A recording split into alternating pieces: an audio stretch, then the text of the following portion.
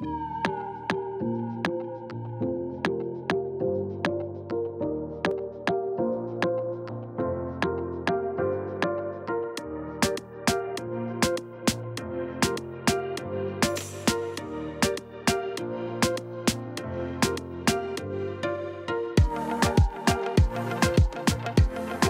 Toronto Carnival Run is a Caribbean-inspired run to help inspire and motivate people to be active.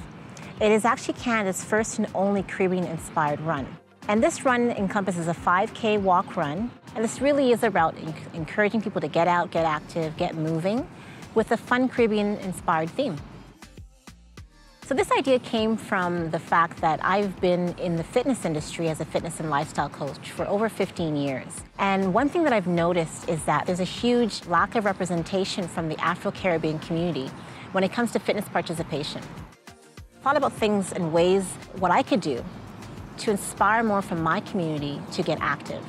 Because I strongly believe that our health is our wealth and that there is a connection between when we take care of ourselves and we engage in healthy activities and how it affects us in terms of our quality of life and also in terms of economic strength and growth and all the different things in our lives that we can enhance.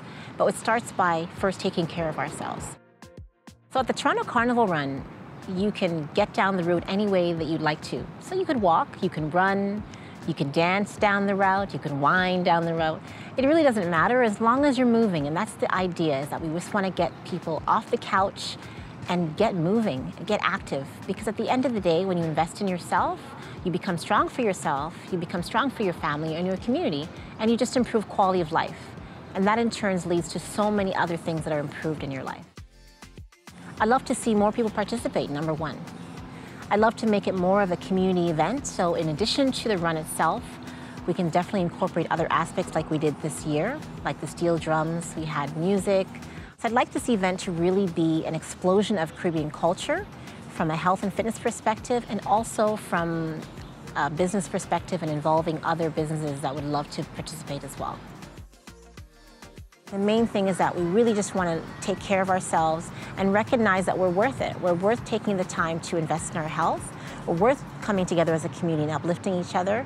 And we're worth really just living a better life and trying to improve the quality of our life for a better future.